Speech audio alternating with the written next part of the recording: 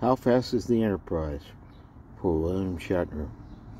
The Enterprise is so fast that when the warp engines kick in, she suddenly lifts up.